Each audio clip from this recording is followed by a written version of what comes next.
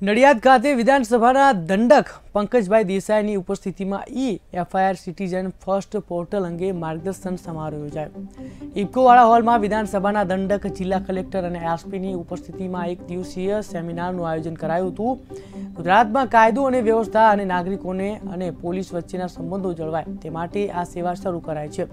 ઈ એફઆઈઆરની જાણ CCTV command and control સેન્ટરને થઈ જશે. ચોરાયેલા વાહનનો નંબર સીસીટીવી કમાન્ડ એન્ડ કંટ્રોલમાં ફ્લેશ થતા ગુનો ત્વરિત ડિટેક્ટ થઈ શકશે. આ સેવાને લઈને લોકોને હવે પોલીસ મથકના ધક્કા નહીં ખાવા પડે.